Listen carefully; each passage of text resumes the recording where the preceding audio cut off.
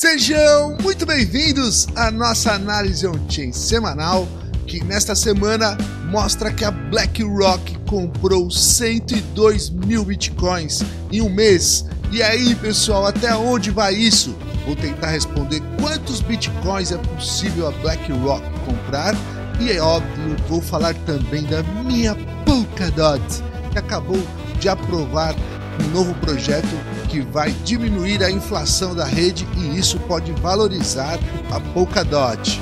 Se liga aí!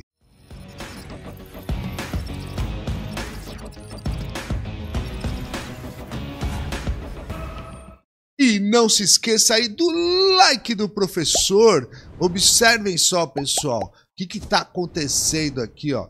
Desde que aprovaram os ETFs, nós estamos observando que os fundos estão acumulando Bitcoin, bateram na casa de 922 mil Bitcoins, estão quase chegando em um milhão de Bitcoins, e vocês sabem aí que o supply máximo são 21 milhões, então eles já estão com quase um milhão, praticamente um milhão de bitcoins nas mãos. E veja aqui que a BlackRock, ó, só a BlackRock comprou 61 mil em janeiro e 41 mil em fevereiro.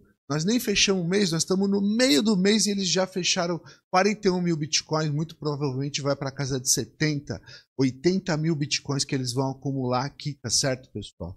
A mesma coisa a gente consegue observar no, no na Fidelity, tá vendo aqui, ó, 45 mil bitcoins eles acumularam em janeiro, 30 mil agora em fevereiro. Então vejam só, isso está causando um choque no supply. Ainda que a Grayscale continue vendendo. Veja que eles colocaram 22 mil bitcoins à venda, tá certo? Então, para onde vai isso, professor? Até quanto eles são capazes de comprar? Então eu tentei olhar aqui, ó. Olha o patrimônio que esse pessoal tem. A BlackRock, por exemplo, ela, tem um patrimônio de 10 trilhões de dólares. A Fidelity tem um patrimônio de 4 trilhões de dólares. Não estou contando os fundos menores, estou falando só desses fundos maiores aí, tá certo? Então aqui nós vamos falar, vamos chutar que tenha 15 trilhões. Nós estamos falando de 15 trilhões, sendo que todo o market cap do Bitcoin é um trilhão. E de todo o mercado cripto são 2 trilhões. Então veja que nós estamos falando de um dinheiro que é muito maior do que o que existe no mundo Bitcoin, tá bem?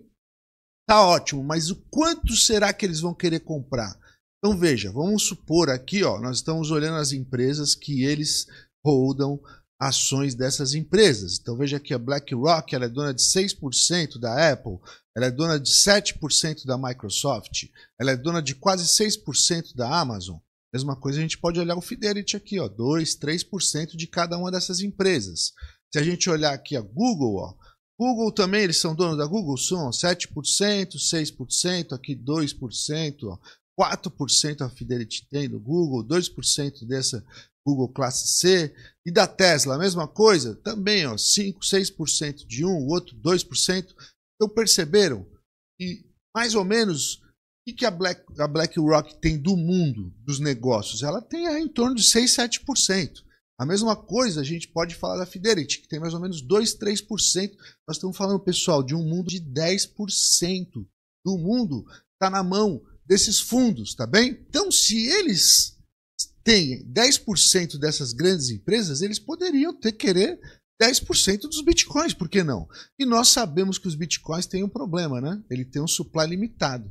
Então ele está aí, ó, em 19 milhões e 600 mil bitcoins impressos, vai chegar a 21 milhões, que é o supply total. Se eles quiserem 1 milhão e 900 mil bitcoins, que seria 10% de todos os bitcoins, veja o que isso vai fazer com o preço de mercado, porque nós estamos falando de pessoas que investem a longo prazo, que não têm pressa para recuperar o investimento, pessoas que têm muito dinheiro nas mãos. Então vejam só, só o que está acontecendo agora com o supply, desde janeiro para cá, veja que estava em 1 milhão 910 mil bitcoins e está caindo bitcoins, não tem bitcoins para eles comprarem. Ó. Tem 1 milhão 870 mil bitcoins agora. Então, só nesses últimos dias, de janeiro para fevereiro, como aumentou muito a pressão de compra, está caindo o supply, está caindo o estoque delas. E se eles quiserem acumular, por exemplo, 1 milhão e 900 mil bitcoins? Não tem, somando em todas as exchanges hoje, não tem esse número de bitcoins, não existe, tá bem? Então, pessoal, o que, que eu estou querendo dizer para vocês? Que a dinâmica da compra desse pessoal, a entrada desse pessoal no mercado, está mudando completamente o sistema, tá bem? Isso porque o varejo nem entrou ainda, só o institucional.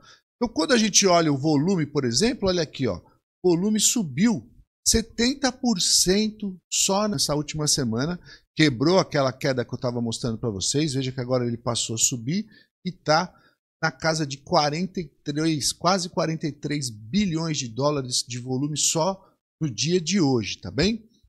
Aqui eu sempre mostro as zonas de resistência e suporte para vocês, então vejo como a próxima resistência a casa dos 55.400 dólares, mas veja que o caminho está livre. O caminho está livre para quê? Para a alta histórica, pessoal, certo? Então, nós estamos com o caminho livre para a alta histórica. Como eu disse na, no vídeo passado, vocês precisam planejar isso, porque já foi calculado, já mostrei para vocês o potencial que o Bitcoin tem para chegar o ano que vem na casa de 176 mil dólares. E veja que isso nós estamos falando só da entrada dos institucionais, porque o varejo não entrou ainda. E como que eu sei que o varejo ainda não entrou? Vou mostrar aqui nessa imagem para vocês que, na verdade, o varejo ainda não entrou. Aqui vocês podem observar aí, ó, as, os views né, no YouTube. Quantos views estão tendo? Quantas pessoas estão assistindo os canais dos, de, de Bitcoin? Pouca gente ainda. Tá vendo? Nós tivemos uma queda dramática aqui, ó. E essa queda ainda, os volumes que nós estamos vendo hoje de views nos principais canais dos Estados Unidos, ainda não chegaram nem no nível de 2022. Ainda está baixo, ou seja, o varejo ainda não chegou a entrar no mercado, o varejo ainda vai entrar, e a hora que o varejo entrar, o preço vai disparar, porque obviamente o número de views que tem aqui vai ser muito maior no próximo ciclo, na hora de começar o ciclo de alta mesmo, esse número de views vai disparar e também é um bom indicador para você saber quando você pode vender em alta, né, os seus bitcoins, tá bem? Muito bom, espero que isso ajude vocês com o Bitcoin, mas eu vou falar também da Polkadot, porque ela tem uma ótima notícia. Tá aqui essa notícia que saiu no GitHub. Eu acompanho, já falei para vocês que acompanho o Bitcoin, é, Binance Coin, Ethereum, todas elas, Polkadot, todas as principais eu acompanho no GitHub, que é onde os programadores estão discutindo as coisas que vão acontecer. E aqui eles colocaram esse RFC, né, Revenue from Core Time, tá vendo? A ideia qual que era? Queimar uma parte do estoque que tem ainda capital que ainda não está circulando, que é do supply da Polkadot. Então, eles fizeram isso daqui e a notícia boa é que 100% das pessoas votaram a favor de que essa, esse RFC 10 fosse aprovado. Então ele foi aprovado, saíram as primeiras notícias é, ontem também, então fiquem atentos que é uma coisa que acabou de sair, está super recente. Então isso pode ser o que? Ele está falando aqui, ó, pode ser bullish para Polkadot. Então vamos ficar atentos. Ela tem interoperabilidade, ela tem essa vantagem do pessoal conseguir votar todo mundo de uma vez só. Então é mais fácil de tomar decisões para o benefício da própria comunidade. E veja que a, a comunidade, votando isso 100% a favor, eles estão mostrando o quê? Que eles querem diminuir a inflação da rede Polkadot, que foi uma das críticas que eu fiz lá atrás para eles, tá bem? Então, com isso, o volume subiu 50%, bateu aí na casa de 311 milhões essa semana. E aqui o que está acontecendo é o seguinte: nós estamos aqui, ó. Nós estamos nessa resistência aí, de 8 dólares.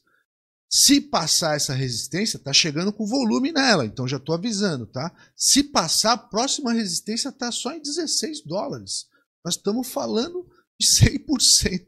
Só aí, em poucos momentos, pode estar tá acontecendo. Então, quer dizer, se ela passar a casa de 8 dólares e fazer 8 dólares como suporte, fiquem atentos aí, que pode dar ótimas entradas para vocês. Então é importante ver isso por quê? Porque a gente tem que estar tá de olho aí nesse, nesse fenômeno aqui, que é a inflação. Então a inflação tá, caiu para 7,84%.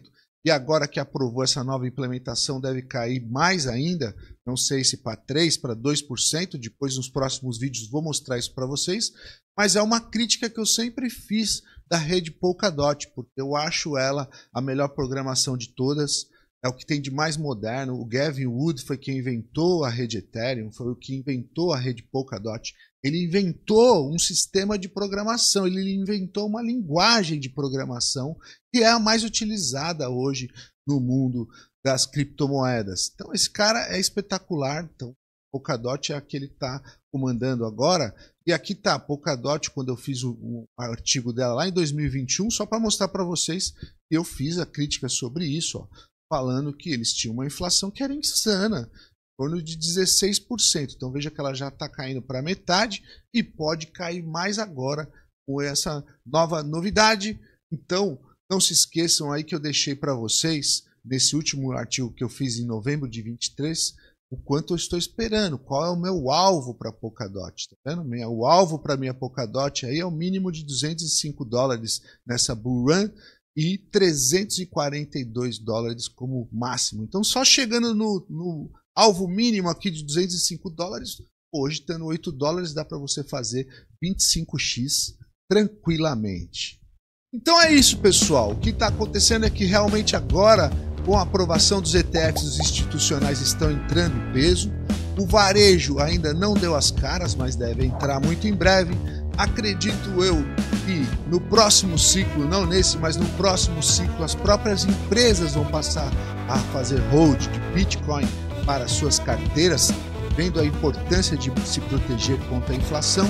E depois, no outros ciclos mais atrasados de todos, que vão ser os estados, que hoje ficam comprando dólar, tendo, olha, eu tenho centenas de bilhões de dólares, obviamente que eles vão querer ter é Bitcoin. E você, vai ter Bitcoin?